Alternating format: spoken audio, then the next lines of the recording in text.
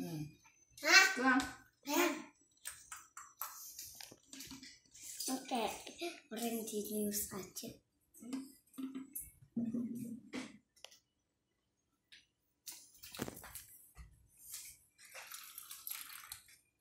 Hmm, akan